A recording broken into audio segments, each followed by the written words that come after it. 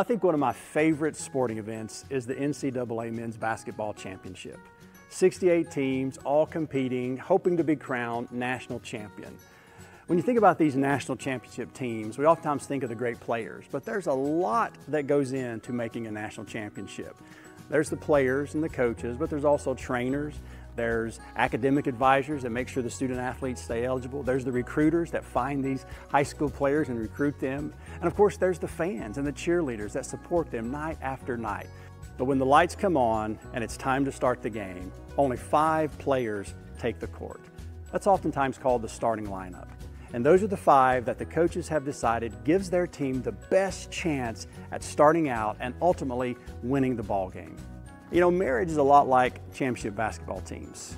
There's a lot of things that go into making a good, healthy marriage.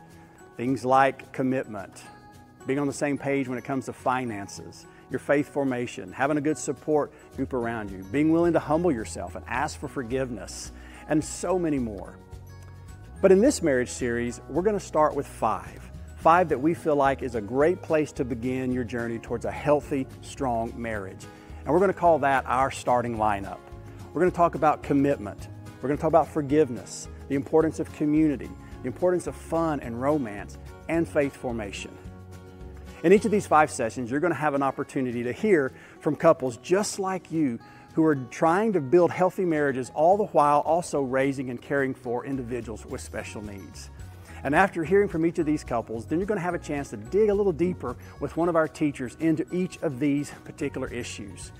And then after each session, we've included some discussion questions that we want to encourage you to take time one on one with each other and dig into those questions.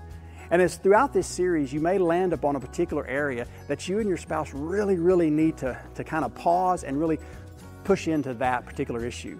We've created a list of additional resources that can help you do that.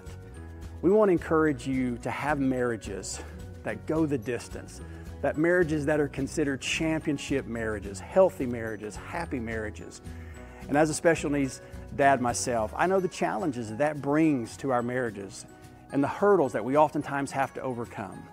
But here's the thing I know God is for us. God wants to see our marriages go the distance and be healthy and be happy and thrive even in the midst of the challenges that we oftentimes face as special needs parents.